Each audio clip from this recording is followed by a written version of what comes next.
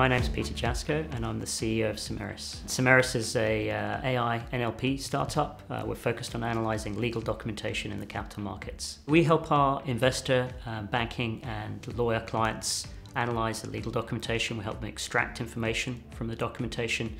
You know, a typical transaction that they look at might have 500 to 1,000 pages of documentation and we help them analyze that really quickly and pull out the key information they need in order to be able to you know review that documentation within one or two hours rather than seven to eight hours it normally takes them. So we looked at a number of solutions in the market for our database and the main reasons we chose MongoDB were the strong developer community um, and strong developer following uh, as well as the ability for it to scale and because it comes as a fully managed service. So we're an AI NLP startup we don't really want to spend our time doing DB admin. For us, scalability is really important. And what we found is that the MongoDB platform scales both in compute and also in storage seamlessly. So we get a, a notification that more compute or storage is required and we can upgrade that online and it has no customer impact or no downtime.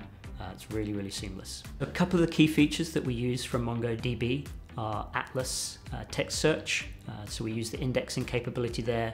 And the, the key thing that we find we're doing from there is our customers want to retrieve thousands of data points from multiple different documents and they want that information in their hands. When we ran into a technical issue on our uh, development cycle, uh, we reached out to the MongoDB technical advisory team um, that's part of our uh, MongoDB for Startups program and they were very uh, responsive and very quickly able to uh, give us a solution that solved our problem.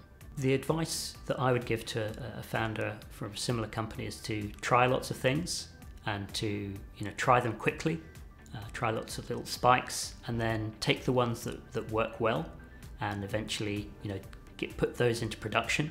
But really focus on what your customers want.